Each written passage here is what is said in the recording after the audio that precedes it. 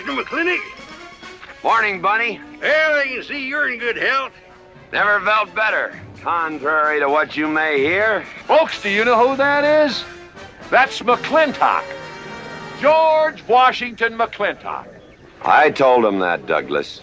He controls the water rights on 200 square miles of range. A lady brought that out here this morning, asked for it to be taken out to the home ranch for you.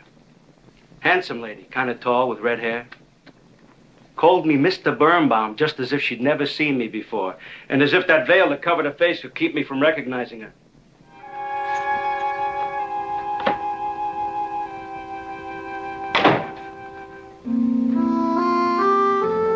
Catherine.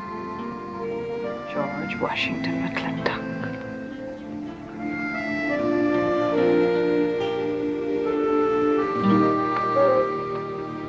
I thought you'd want this.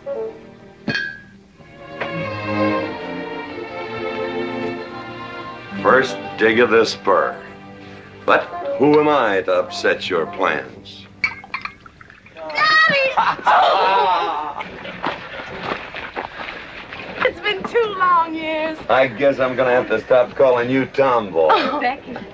Mama! Oh, Mama. I wasn't sure you'd be Oh, I've been here a few days. And, oh, Becky, I've bought you three of the most beautiful dresses. Oh, Uncle Drago! Oh! Did you bring your old uncle a coming home present? Sure did. What is it?